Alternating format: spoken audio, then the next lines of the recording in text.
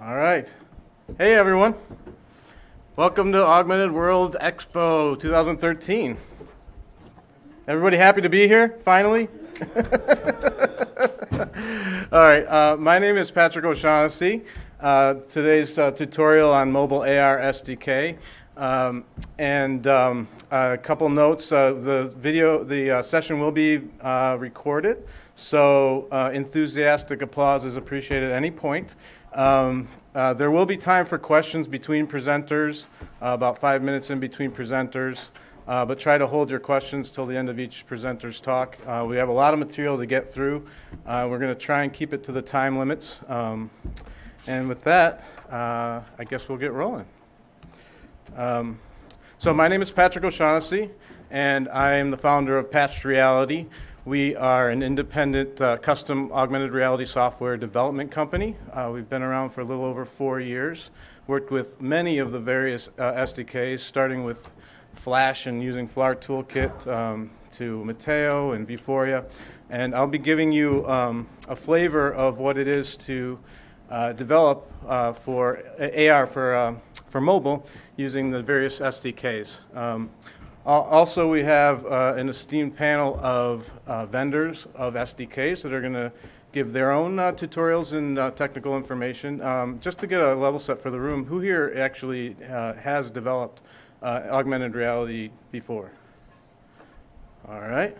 And how many people who have, of, of the people that, how many people here are actually developers? Pretty good. Okay, good, good, good. All right, great. So the, the session is going to be pretty technical, so bear with us. All right. So, what's the purpose of an AR SDK? I'm just going to start simple. Uh, basically, an AR SDK uh, provides uh, one of the one of the or more of the following. So, the first thing it will provide you is uh, recognition. It'll try, try and figure out what what to track um, based on uh, uh, pre you know pre-trained or live data. And then it's going to tell you uh, where that thing that you're tracking is. It'll give you a 3D pose, and that's one of the most important things that an AR SDK does. Um, and then the, the last thing is uh, sometimes, uh, and very often, it'll provide you a rendering component, or it'll tie in with a third-party component that provides the rendering, which is the content and the fun stuff uh, that gets put out in the world. Um, so that, in a nutshell, is what uh, an AR SDK gives you. And then you, as the application developer, get to fill in the blanks with what do I want to track, what type of tracking do I want to use, and what's the content and interactions I want to provide to the user based on uh, the experience design. Uh, so here's a, a, spattering of various uh, tracking types. Um, and uh, the, the, it starts, you know, starts with traditionally there was GPS and sensor tracking you probably all saw, seen the Yelp monocle or, uh, or, or um, uh, Metaio's um, uh, or Layar, and that's where you're waving your phone around and you're seeing points of interest in the distance, for instance. Uh, then we get to marker tracking, which is more of a fiducial black and white type of uh, marker, or in the case of Qualcomm, they have uh, these frame markers, um, but it's more of a, a, a predefined, simple, simple imagery. Uh, more, more recently, uh, especially in brand engagements, people are interested in what's called NFT, natural feature tracking, or image tracking, and that's where you're tracking uh, more of a natural looking image of something, a photo, a side of a cereal box, um, something like that. And that can be either pre-trained, so you know exactly what you're going to track starting out, um, uh, or you can use cloud recognition where you're going out to a network server and saying, um, you know, there's, here's some images coming from the device. Tell me if you recognize any of it. If so, uh, pull back a tracking profile so I can track and, and provide content. and then uh, there's user defined if, if you're actually uh, on the, uh, if you let the user decide what they want to track. They just take a photo uh, of something uh, in their environment and then you lay AR content on that. Uh, then we get to 3D, uh, either pre-trained or uh, what's called SLAM, simultaneous localization and mapping, um, where you're actually tracking a 3D space as opposed to a flat 2D image. Uh, so like a, a statue or, or the, a model of a city, something like that. Um, and then, you know, of course, face, fingers, body, the human. Um, not as much of that going on in mobile, but some of it. Um, and then uh, robots, you can track robots. If you've ever seen Sphero, that's, that's a fun toy that tracks a robot around a room. So that's just a flavor of the different tracking types, and that's not a comprehensive list, but it's uh, pretty typical for mobile applications. So here we get to, I don't know why my slides cut off here. Uh, okay. So this is uh, a list of, uh, we're calling the short list of mobile SDKs and the various features uh, that they provide.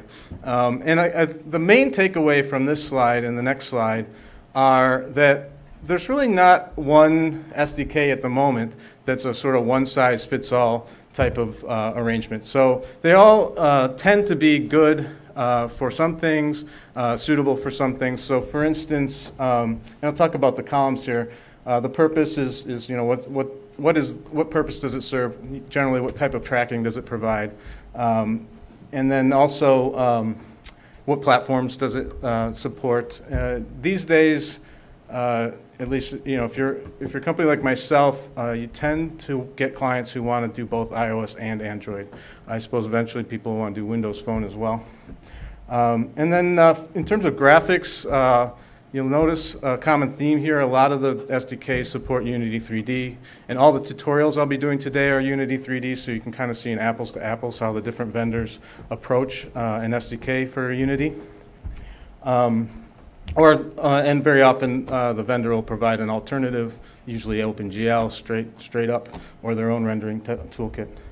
Uh, and then whether or not, this is whether or not they, they can actually do cloud recognition and whether they have a GPS-based tracking. Uh, licensing fees are over here. Uh, so again, different toolkits tend to be uh, better for some things and uh, not so great at others. Um, most of them tend to do NFT these, these days. Um, there are some specialized toolkits, uh, I think on the next slide here, for instance, like Obvious Engine can track cylindrical objects like, um, like a bottle. Um, and then there's uh, a couple implementations of SLAM uh, that I'm familiar with anyway, one, one from Metaio, one from uh, 13th Lab, both of whom are represented today. Uh, so uh, I guess I'll take one question. Does anybody have a question about this slide in particular before I go? No? Okay, let's go on. All right, let's go back to the. I'm sorry, Patrick? Yeah. Can you show the bottom half or the last um, half of the SDKs?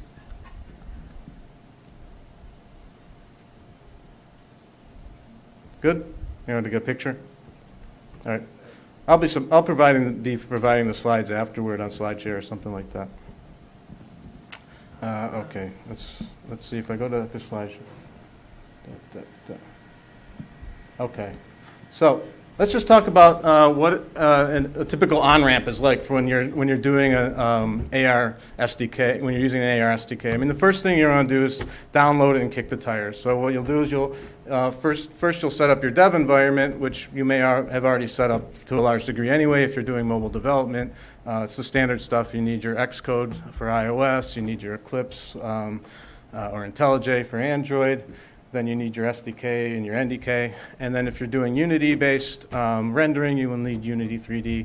You'll generally need a Pro license with uh, iOS and uh, Android uh, for most of the SDKs.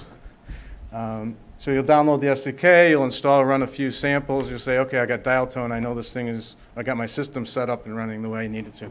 Um, and then, once you've done that, you're probably going to want to clean the slate and, and start from scratch and build the project the way you want it to be built.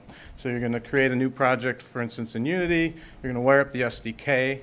And what that generally entails is adding um, a specific AR camera that's just going to be uh, tracking uh, the environment. Um, you'll set up some licensing generally. Uh, not all toolkits require uh, some form of uh, license, but uh, most do. And you set up your recognition and tracking configuration through an online tool or a command line. Add that to your scene. Then you'll start adding the fun stuff, the content, the interactions, the things that are out in the world. Build, run, test, rinse, repeat, and then ship it.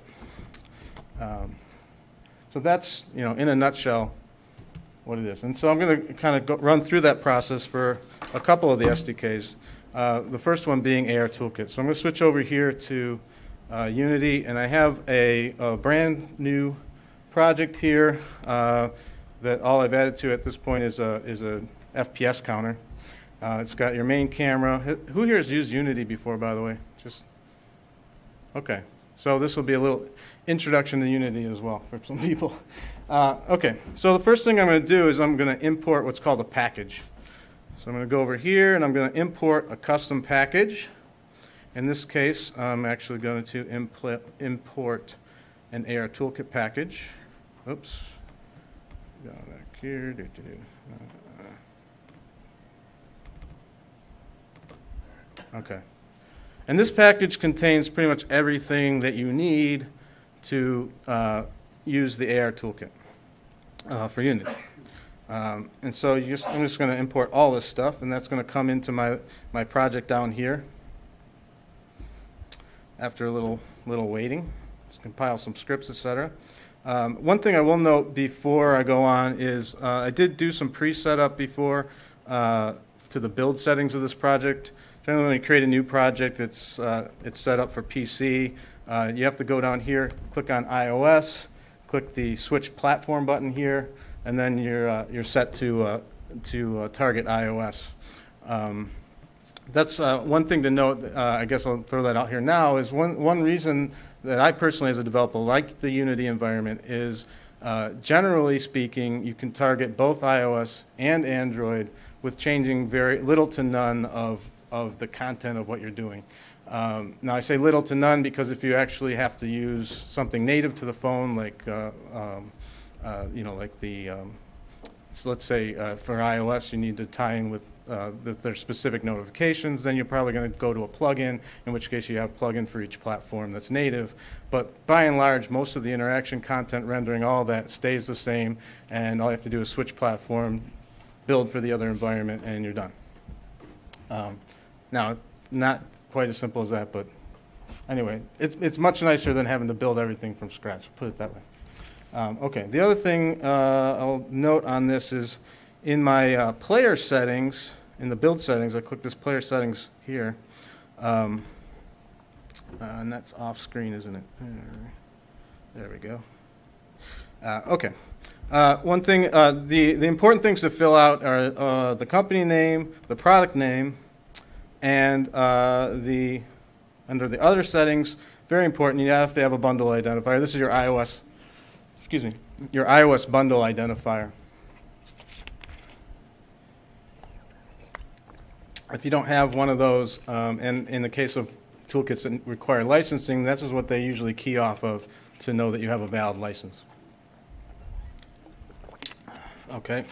Uh, you want to make sure that you're uh, you're targeting the, the device the device families that you want. Um, you also uh, want to make sure that it's the orient uh, the uh, orientation that you want. So, for instance, here uh, I tend to use landscape left. Um, some of the toolkits support auto rotation, some don't. I'm not going to go specifically into which which is which at this presentation, but just keep bear that in mind when you're building your project. You got to make sure that you're using an orientation that's supported. I think that's all I wanted to say about the boilerplate settings, and they'll be pretty much the same for all the projects I'm going to show today. So, so what's the next thing we do? I've got my, my Unity package, I mean, uh, imported. Now I'm going to add an AR Toolkit script to an empty game object. So I'm going to create an empty game object here. That's going to show up in my scene. Uh, I, I like to put all my game objects at the origin when I uh, create them, at least the ones that are just script dummies. Um, I'm going to rename that AR Toolkit. And then I'm going to find uh, a, uh, a script that, they, that AR Toolkit provides uh, called AR Toolkit. I'm going to add that to my empty game object. And that's going to give me the capability now to, to instantiate the AR Toolkit uh, library. Um, there's a little bit of uh, video config that needs to be done for AR Toolkit. Um, let's see here. For iOS, I've found um, this is uh, one of the things you'll find with AR Toolkit is a little more text, uh, text uh, oriented, a command line, that sort of thing, than some of the other ones. So I'm going to put this in here. 720p. That'll that'll give me on my iPhone 5 the full screen resolution. Um, and actually, I need to talk to AR Toolkit to find out uh, how to make this so that it's auto-detecting, because all the other toolkits tend to auto-detect. What I found with AR Toolkit is you kind of have to hard code up front what video resolution you're, you're targeting. Okay, so now that I've got that set up, the next thing I'm going to do, on my cheat sheets here, um, oh yeah, I'm going to create some for, some layers. So the way AR Toolkit works is um, it uh, it has a one camera that's the video background of the world, like what's out in the world, and then it's got another camera that's set up that is showing you the content that is being overlaid on the world. And we're going to set up that camera to only show us the augmented con- content so that when there's no tracking image in the, in the frame, uh, then no, no, content in that uh, will, will show up, just the video background. Um, so I'm going to create a couple layers. And I'm going to call them AR foreground and AR background. Okay? Uh, and then I'm going to set the layer for the AR toolkit to the AR background. So this is, this is the object that's going to be providing the video back, uh, backdrop. Uh, next, I'm going to create uh, an NFT data set, a natural feature tracking data set off of an image. And the image I'll be using today is actually an image that Qualcomm provides with their toolkit. It's just a picture of some pretty pebbles and stones. Uh, and the reason I'm using this is just so it's an apples to apples across all the toolkits. Also, this is a very feature rich image. It works really well uh, for most of the natural feature tracking toolkits. Uh, and so, anyway, so I've got an image and what I'm going to do, I've got a JPEG of that image. I run a command line tool called genTexData. And uh, I'm not going to run through all the features here, but basically it prompts you for a bunch of things. It asks you for the minimum resolution that you want, like I'll put 25, the maximum resolution. What's it going to do is it's going to generate um, a number of images at different resolutions uh, so that it helps it with the, with the recognition. Um, and then it'll spit out some three, three files. Um, I'm actually just going to move to another window because I actually already have these files. It takes a little while. Um, so I'm going to go over to my boilerplate here. And I'm going to grab the three files that it creates. It creates a, a feature, two feature set files and an image set file. And we're just going to drag that into our project. I'm going to drag that into the streaming assets. Um, and those are the assets that get pulled onto the phone that the phone can access. Uh, and I'm going to delete the uh, default ones that, um, that AR Toolkit provided for us. It's a nice picture of Gibraltar. Uh, okay, so I've got my image set trained. So now AR Toolkit's ready to, uh, to, uh, to look at uh, uh, now it knows all the features that feature points that are in that image. So when it's looking at the uh, the live video, it can match the live video to those features and hopefully give us a really nice pose. All right. So the next thing I'm going to do is add a markers uh, a uh, a marker script to the AR tools uh, AR toolkit object. So I'm going to look for uh, da, marker. Oh yeah, actually, I'll just do it through the. They they provide a command a um, uh, a uh, drop-down menu option for, for most of the things in AR Toolkit. So I'm going to add the marker script right there. Okay. And so that marker script uh, is going to tell AR Toolkit what it's looking for. And just, I'm going to choose NFT because that's the type of tracking I'm doing. Uh, AR Toolkit also can do fiducial markers. I talked about that before. That was what it was traditionally built for, uh, was these black and white markers with a black border around them. Today we're going to do NFT. And then uh, I'm going to type in the tracking image, which is called stones, into both the tag and the NFT dataset name. All right, getting there. Now, what are we going to, oh, now we need a tracked camera. That's right. Okay. So we're going to add a track camera to our, to our Unity camera. Uh, camera is an overloaded term when you're doing AR. uh, there's the camera that's the virtual camera, and then there's the camera which is the camera camera. Um, so hopefully not confusing with the use of the word camera. But I'm going to add a tracked camera script here to my main camera. Okay.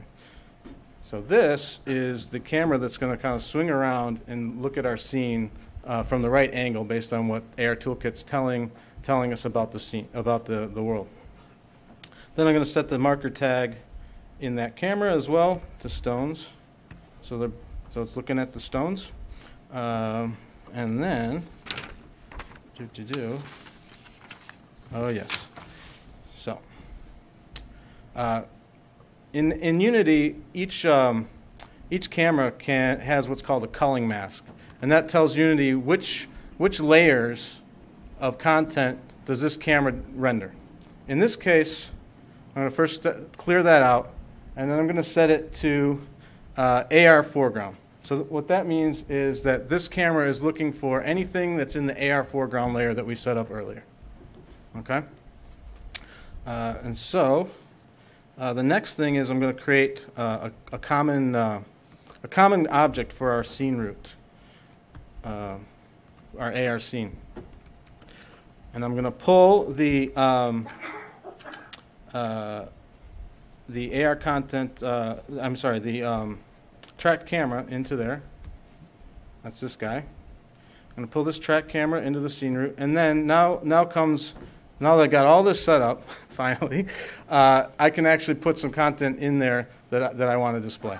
So that's where this comes in. I've created this prefab. Uh, another nice feature of Unity, you can you can bundle up uh, uh, scene objects that you've created up here and in your in your scene, and and pull them into your um, pull them into your project, uh, either from another developer or from a, uh, an artist. Oh, and actually, before I do that, there's one nice thing I want to show the AR Toolkit does. You'll notice here, I've got in my scene, in my 3D preview window, I've got this stones outline. So this is showing me where uh, the where everything is going to go relative to this tracked this tracked object. So it makes it really easy to position things uh, and know where they're going to show up. Um, however, one thing that, that AR Toolkit makes diff- difficult is, for whatever reason, uh, that by default, the, the scale of everything is very, very small. So you'll see when I pull my scene in here,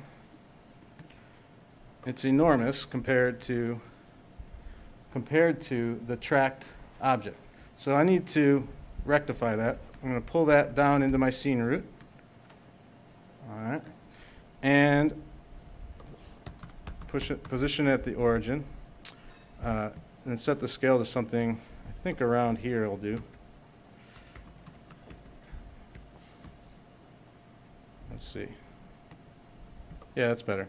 Uh, another thing that's interesting is the origin actually in AR Toolkit is in the bottom left as opposed to the center of the object. So I'm going to move that to the center.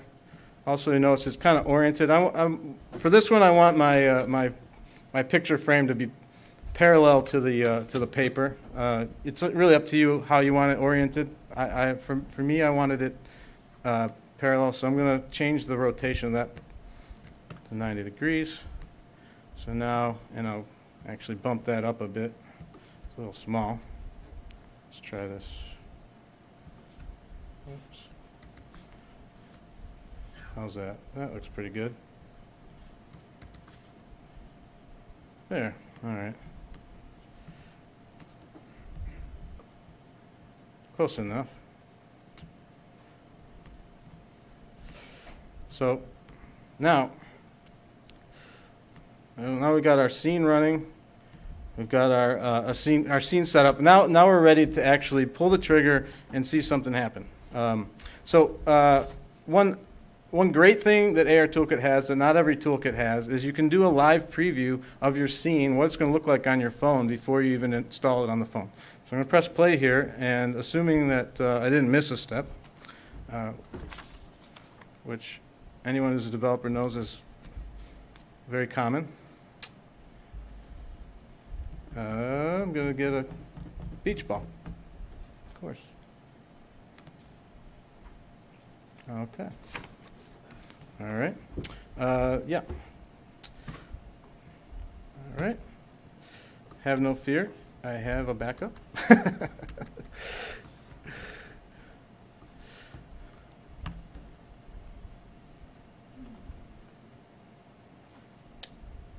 All right.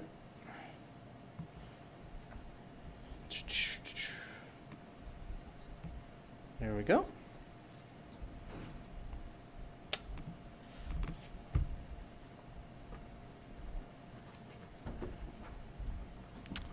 So luckily, we at least got through all the setup.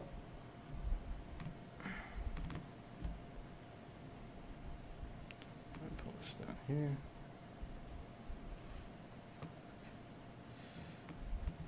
Okay. Bear with me. Sorry about that.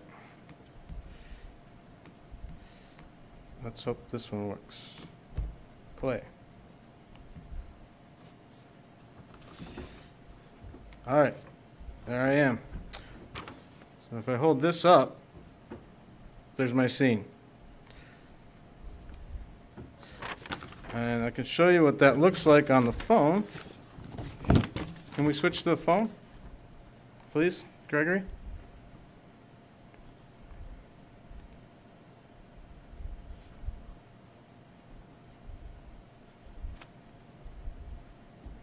There we go. Say cheese. Ow, they say ow. There's my scene. Okay. And uh, just for fun, didn't really show this part, but uh, we've got some. Uh, yeah, let me just lay that down there. Oops. Static pipe's no fun. We want that thing to light on fire. So, let's see here. I'll shoot. Oh, man. There we go. We'll shoot that puppy with a match. All right. Light up. Light up, you. There we go. In the goal. All right. There we go. Okay. Yeah. I'm a developer, not an artist, okay? Give me, a, cut me some slack here. All right. Uh, all right. So that's, uh, that's essentially AR Toolkit. Um, how are we doing on time? About halfway through? Okay, I think we're doing good. Uh, one thing uh, I'll say now uh, about uh, we're not co- uh, completely done. Once you once you actually build, and I'm not going to show that because it takes like three four minutes. Uh, but once you build, you will notice that the first time you build, you're going to get a ton of compile errors, um, and that's because um, there's libraries that AR Toolkit needs. Um, and some of the toolkits do this for you, and they're very nice about it. Point Cloud here uh, actually uh, is the nicest, I would say. They actually provide a post-process build script that will take all these missing libraries and any library that the toolkit needs and configure that in your Xcode project for you. Uh, in the case of most every other one, uh, except I think Qualcomm's an- another exception, uh, except for some reason they're missing one .h file. Um, uh, you have to go in and manually uh, go to your Xcode project, and I'll show you what that looks like really quick. Uh, although if you've done any kind of iPhone development, you've, you've seen this before. Uh, but for completion, um, you're going to go to your your project settings, your targets. You're going to go to the build phases, and uh, right here in this link with link with libraries, you're going to hit this little plus button, and you're going to go and find all the libraries that are on the list for the particular toolkit you're using. Make sure they're in your project, and then from there, you should only have to do this once. Every time you rebuild, you- you're fine, as long as you're um, appending to the project as opposed to rebuilding it. All right. Okay, so moving on to Vuforia. Did um, anyone have any questions at this juncture? Go ahead. So you just had a single image, Yeah, that was a single image. and how many images that you jump if you wanted to overlay um, several images you can see the track? Um, I AR Toolkit, uh, I forget the numbers. Uh, most of them will let you do, you know, up to a dozen or so. Some will, some will even do hundreds. Um, uh, it's different for, the, I, I, I would have to go back to my note. I can't remember exactly how many, what, like, what's the cutoff limit for AR Toolkit? In the tens, yeah, for sure. Uh, and, and with the with the marker tracking, it's even higher. Um, you can do dozens, um, but I'm not sure for for natural feature how many you can do it simultaneously. Um, and actually, that, that you you know now that you said that, that's that's one thing I did want to show. Um, you'll notice when I'm doing, uh, if I go to the scene, see there's my camera. You'll notice that the camera is what's moving So in the case of AR Toolkit, they're moving the camera. Now, there's two ways you can do this. You can either move the camera around the scene to make, to look, to look at, you know, uh, the scene, or you can keep the camera still and move, you know, move the, uh, the objects. Um, In this case, AR Toolkit has, has chosen to move the camera. So you have all these different virtual cameras. So if I had two objects that I'm, uh, uh, that, two, two cameras, uh, two objects that I'm tracking, you would have a different camera in the scene for each, and it would be, And and you can now. yeah, yeah, you can map each image to whatever you want. Yeah. So are you happy with the tracking quality? Can you do other stuff like bending the paper, occluding the paper? Can you do this kind of thing?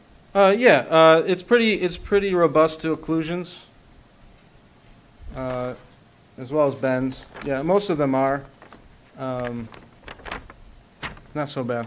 So, I'm gonna, I'm gonna hold, hold questions so I can get through the rest of them, uh, but hold that for the, for afterward.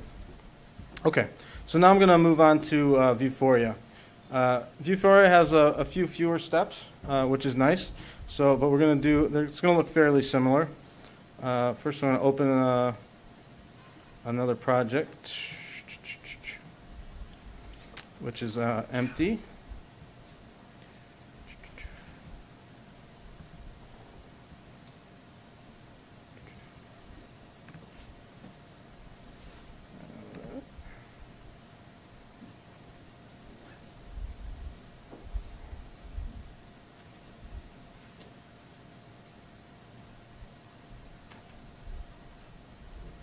Okay, all right, so. Cheat sheet, all right. So, like we did before, we're gonna import a package.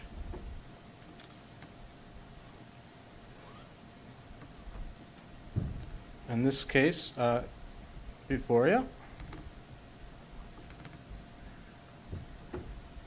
And again, we're gonna import everything, and, uh, when, uh, remember at the top of the presentation, I said this, you know, usually when you're evalu- when you're uh, new to a toolkit, you'll run the examples. Usually the samples ship with the package as well.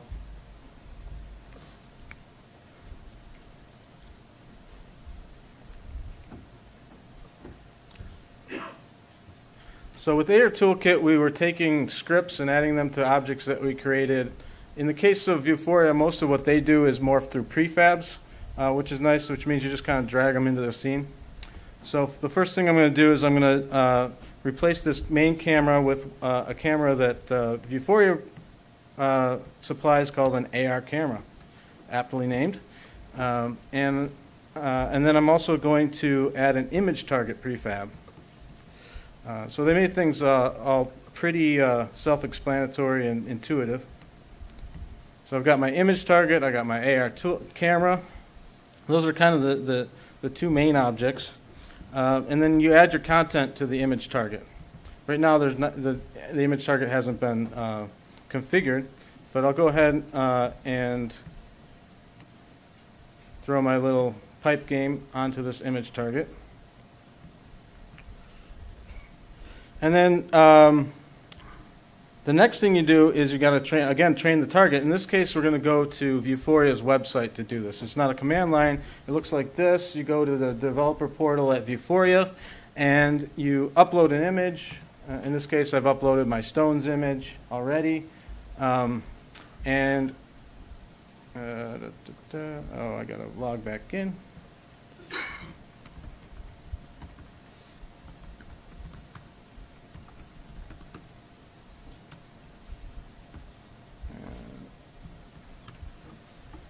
Okay.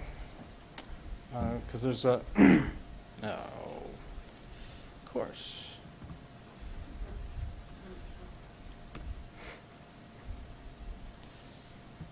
Uh, Right, there we go. All right, so I've, uh, I've already done it, but what I, well, uh, let me show you uh, a little bit how that works. Um, if I hadn't already done it, you, you basically click this Add Target button, and they get this nice little dialog. You give the target a name. Uh, you give it. You can track a single image, a cube, a cuboid, uh, which is a a cube and cuboid are a set of images. In this case, we'll do a single image. You give it a width, and then it figures out the, the length based on the image you upload. Um, and interesting, the, the, the units are scene units. Uh, so you're telling Vuforia how many scene units uh, is this image wide. And so basically that means you got to go and do some math and figure out, okay, well, if my image is eight inches wide and my scene units are, you know, 20 per inch, um, what do I put in this dialog? I, you know, it, it, depending on whether you're trying to do like uh, real world accurate uh, uh, imagery, this may or may not matter to you. You might just choose the width of the image in pixels and just call it a day. So anyway, so once you've done that, you're going to go and you're going to download. It's going to go and create on the on the cloud. It's going to create a set of feature uh, points. And the nice thing is they actually give each image that you upload a rating, and you can show the features that Vuforia found uh, in this image. Uh, and so you can tell which, which areas of the image are feature rich, which images are not. And if you actually have control over your images, you can say, well, uh, we got to add some more detail over here uh, so that it's more trackable. And they'll give you a fi- uh, five-star rating on how trackable it is. Um, no surprise, the image that they create, that they provide with the toolkit is very trackable.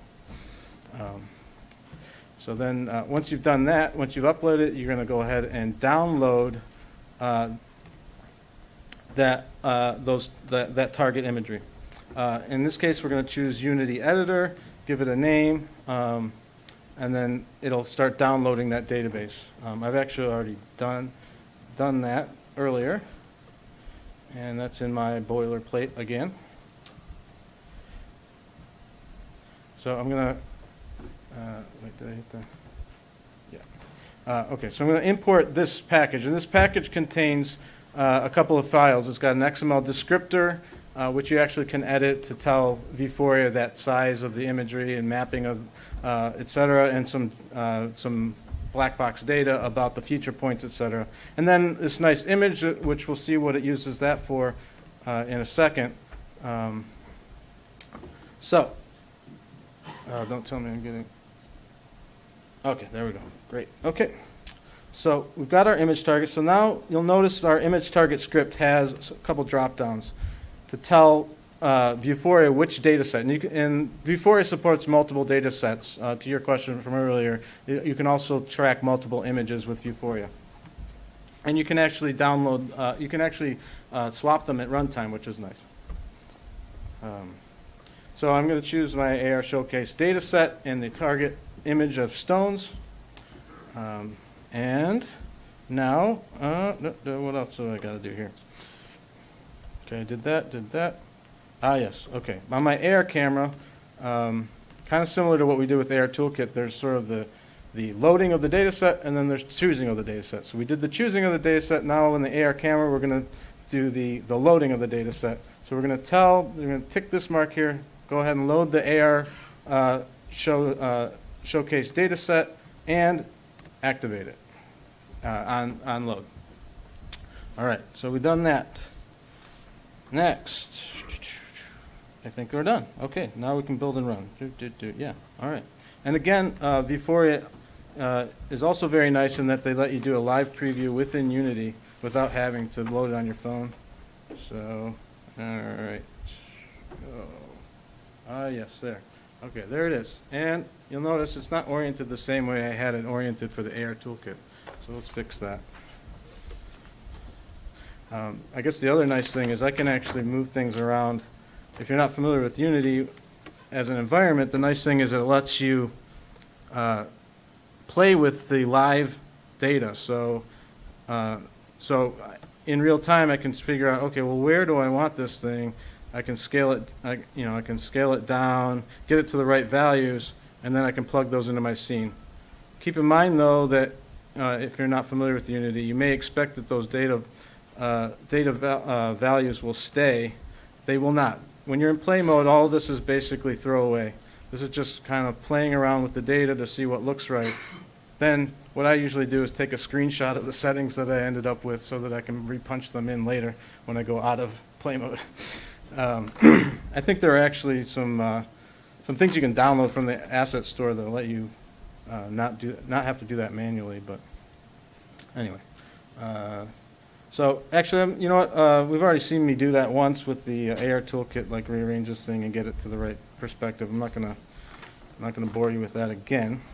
Uh, So, but I did want to uh, note a couple of things about uh, Vuforia, um, uh, which is, when we look at the, um, the, the image target, um, uh, actually, no, sorry, when you look at the um, AR camera, it has these, this drop-down here, which is the world center mode. And why is that important? Uh, You notice when I, uh, when we talked about AR Toolkit, the camera was always the thing moving.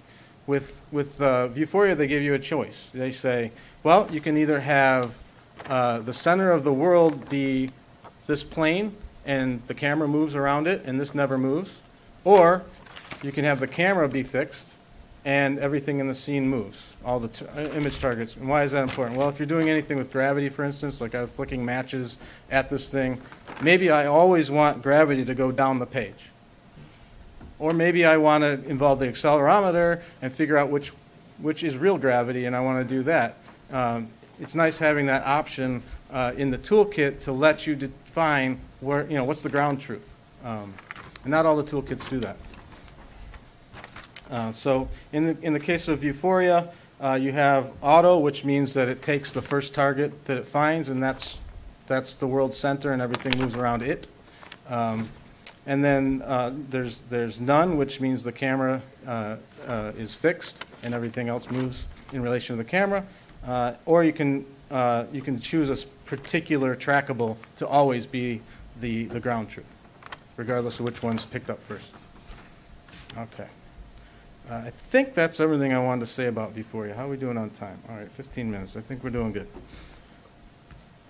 All right. Next, we're gonna, I'm gonna do a couple demos on SLAM, uh, simultaneous localization and mapping, where we're building a point cloud of the world in real time. Uh, And again, I want to talk a little bit about uh, the differences here uh, in, in terms of orientation and ground truth. So in the case of point cloud, and if I say anything either, you know, that is mistaken, please correct me. Uh, uh, Point cloud creates the ground plane from a, a set of points that it finds in the environment, and it tries to construct a plane, and it's assuming that you're looking at, you know, a planar object, uh, or something that, some, uh, some semblance of a plane, and then it, it reports that back to Unity, and that's, that's sort of your ground plane. Uh, in the case of Metaio, it takes a collection of points, and then I, I'm not exactly sure which, uh, which or which they, how they choose the origin. I think it's probably in the middle of the cluster of points, and then every then the scene gets aligned to gravity. They take they take into account the the accelerometer data and the uh, the magnetometer data rather, uh, and they figure out what gravity is, and then your scene is nicely aligned with gravity. Now, I'm not saying one's better than the other. I found the Metaio uh, a little easier to deal with for some things because a lot of times you want to align things to the real world. Uh, the point cloud uh, mechanism, uh, I'm sure, could work well for some for a game where you always want the game to happen on this sheet of paper, for instance. You don't care what gravity is. This is gravity. So I could see an argument for both. Um, it would be nice if both provided either. Um, I'm sure in the next releases they will, or some release they will, hopefully. Um, So let's go ahead and see what it's like to set up SLAM, um, uh, starting with Point Cloud. You notice the few number of steps with Point Cloud. It's really nice to work with. Um, Okay, so we're going to start again with our empty, empty scene.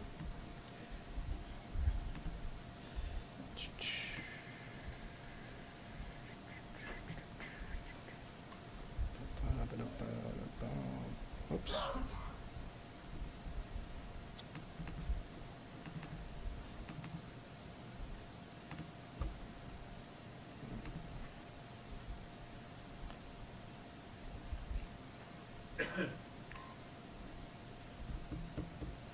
Okay. And I've got this empty scene here. What I'm, uh, what I'm going to do first is, again, import the, the point cloud, uh, point cloud package.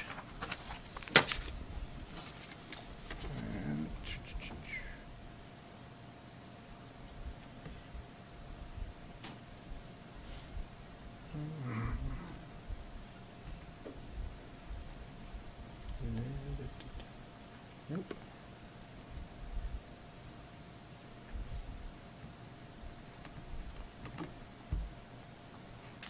Um, You may have noticed that said beta. For a beta product, it's actually uh, pretty nice. Uh, There, the, um, I believe, Oscar, you're going to talk about the, the non-Unity, yeah. So uh, that's, uh, I think, a little more mature.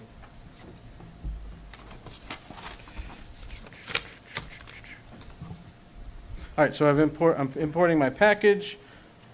Um, And I'm going to add a, um, a point cloud behavior script to my camera.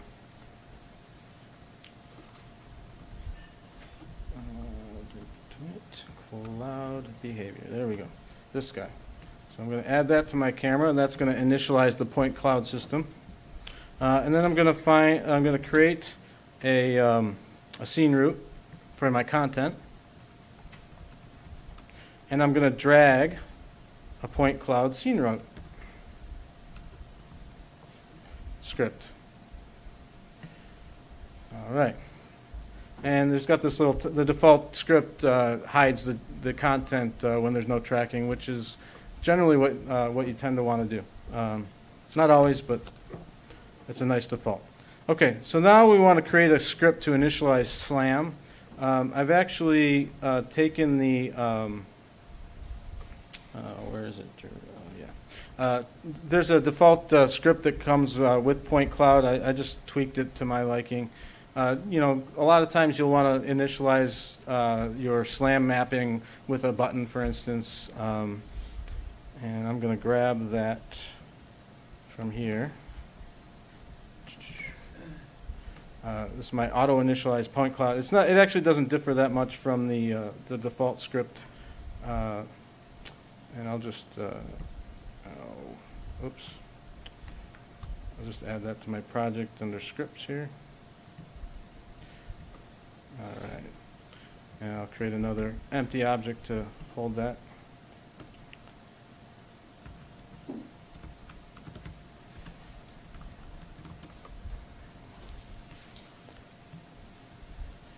And very quickly, we'll take a look at what that script does. It doesn't do much, um, but uh, just uh,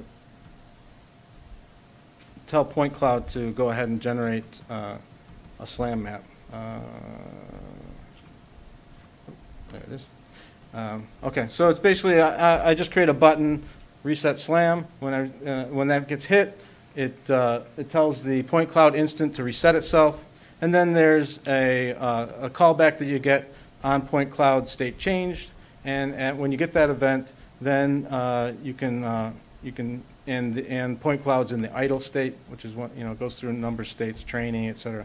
Uh, When it's in idle state, go ahead and start, start SLAM mapping. Uh, All right. So done that. Oh, and then here's the, here's the first uh, toolkit uh, uh, where we have to actually uh, give a, a, um, an application key. So what I'm going to do is go uh, to, where is that? Point cloud menu, where is it? Okay, there we go. So they give us a nice little menu here. I can request a key, and that'll go off to their website where I can generate an application key for my, for my um, application. I log in. Um, I've already done this, but you just basically give that, uh, the, your app ID, uh, which is your bundle idea from, bundle ID from before. Uh, that's this one here. AWT tutorial point, cloud. So I punch that into this app ID. I hit generate. They generate an, an app ID. I mean an app key. I'm just going to copy and paste that into my project. All right, right up here. Save it. And I believe I'm done. Um, so I'm just going to build and run. Um, any any questions while this is building? Do you want to get to your question?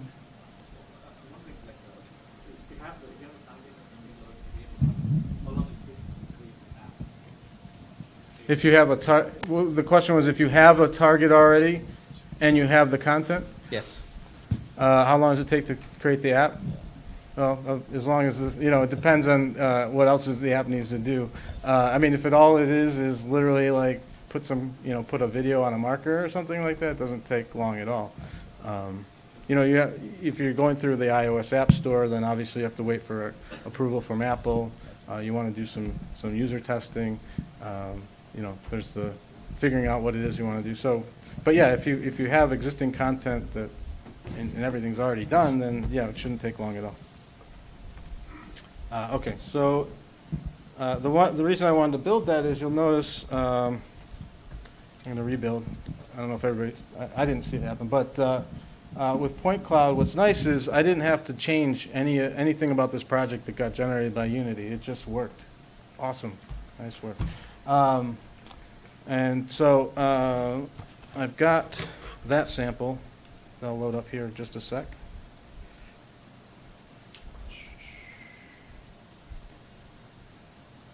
All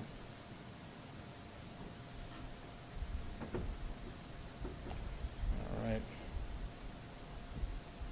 Uh, Can we switch to the iPhone, please? All right.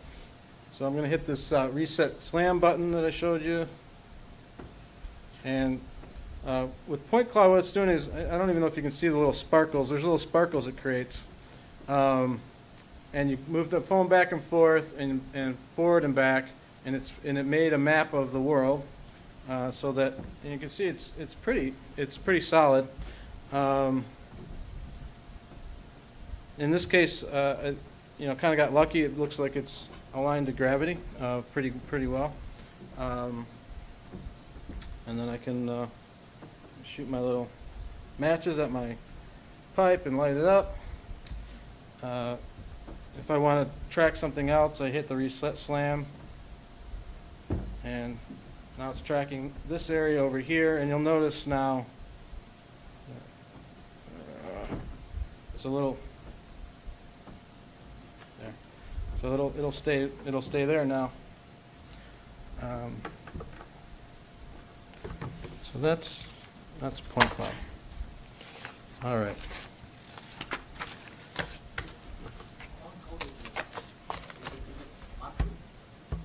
Uh, yeah, it's markerless. It's, it's just basically reading the, the features of a particular, of the 3D space.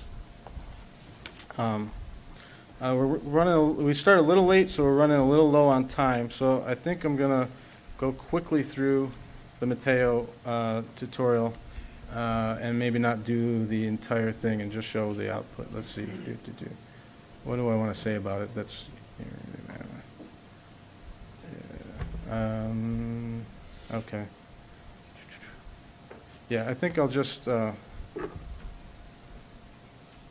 I'll just show what that one looks like. It's, uh, Siri not available. Siri's not available. Okay.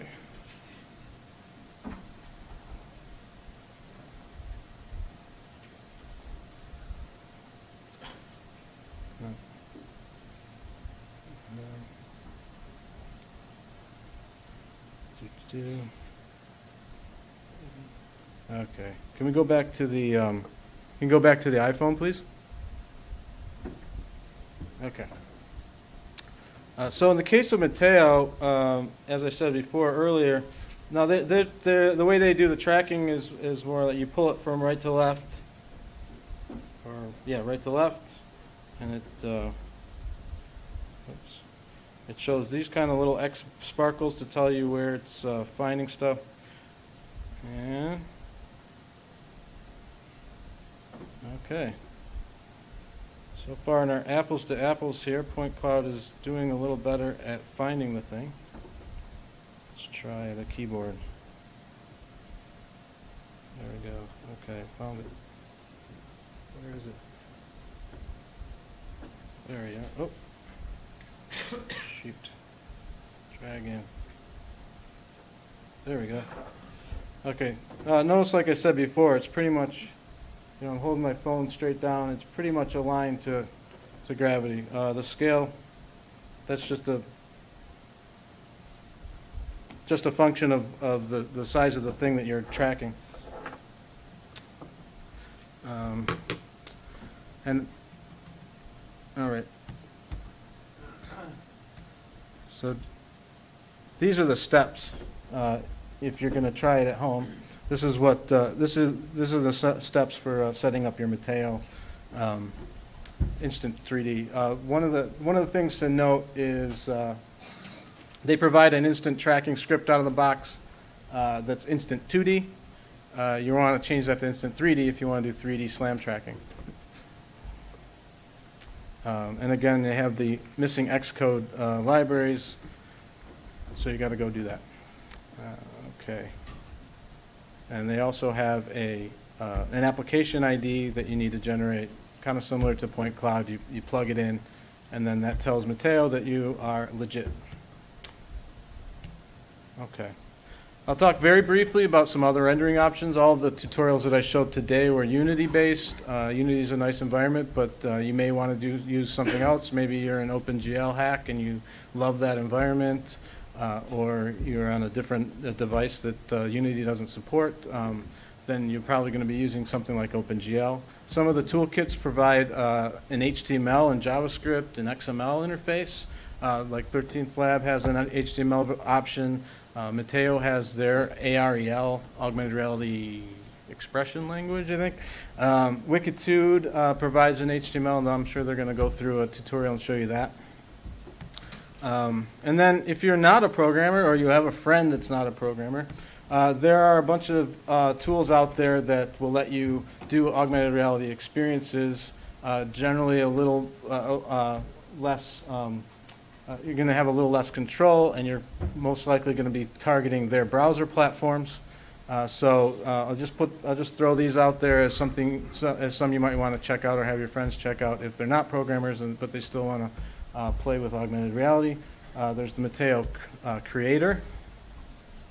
Uh, There's, Layar has a product called Creator um, as well. There's Aurasma Studio. Uh, AR Code has a, uh, a cam- a- what's called a cloud cloud campaign editor. I actually haven't seen this one because I haven't signed up for that one. And I hope I'm not stealing anybody's thunder, but uh, Wikitude has a, a, a product called Studio coming out. So uh, that's uh, that's all I had. Uh, I will take uh, five minutes to question for questions while the next uh, speaker's coming up to uh, to get set up. Anybody have any uh, questions? Yeah, in the back. Yeah, uh, you have a lot of really good information these slides. Will be made available? Uh, the question was whether the slides will be made available. Yes, I will make the slides available. Sure. The Qualcomm, the Qualcomm reporting it showed that you already use the targets without the stone.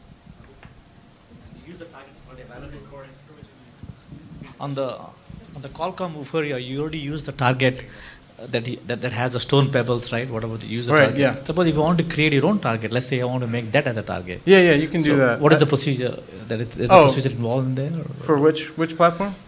for Qualcomm Vuforia? Let's Well, say? for Qualcomm, it's the same process that I showed, where you, you just go to the website, um, uh, you upload, in this case, like for instance, you can upload a dollar bill image that you take, or you take, you know, whatever image you have, you upload it.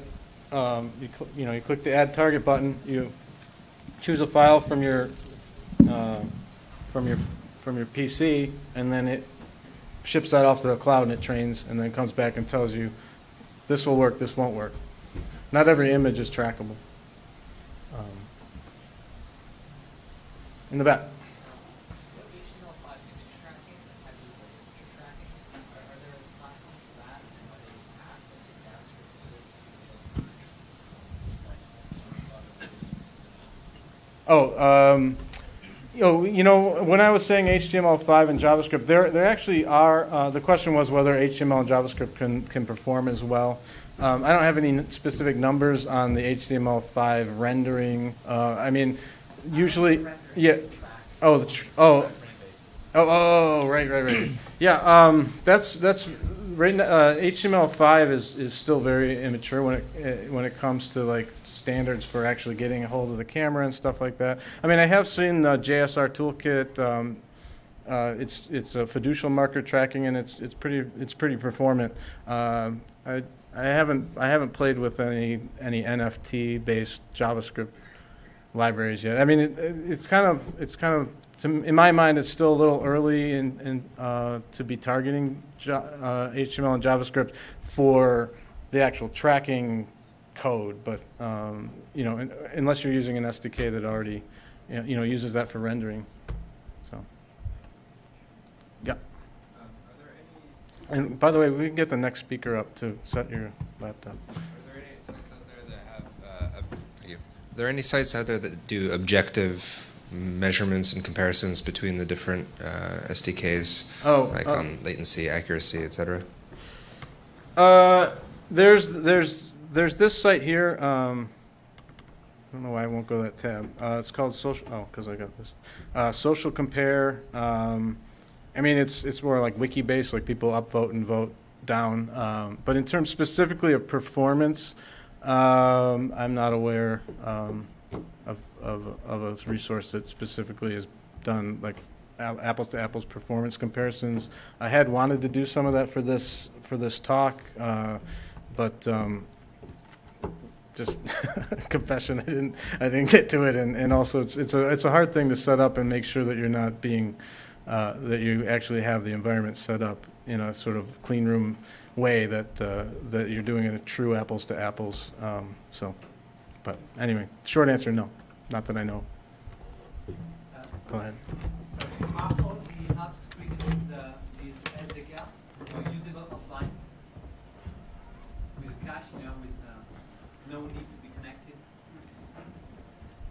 How, how is Uh, Yeah, yeah, yeah. All, um, yeah, all the apps. y- You can you can do either either way. I mean, if you're doing cloud recognition, obviously you can't be offline to do that. Uh, if you've pre-trained your targets, uh, it gets baked into the app, and you can use it offline, no problem. Yeah. Yeah, I'm speaking also with uh, all the models, uh, all, all the content. Yeah, all the content can be baked in. Obviously, you know, you, you want, Okay. if it's mobile, you want to be cognizant of app size, uh, so that, you know, people don't have to wait forever to get the app on their phone. But yeah, you can bake as much content as you want into the app and not have to download it over the network.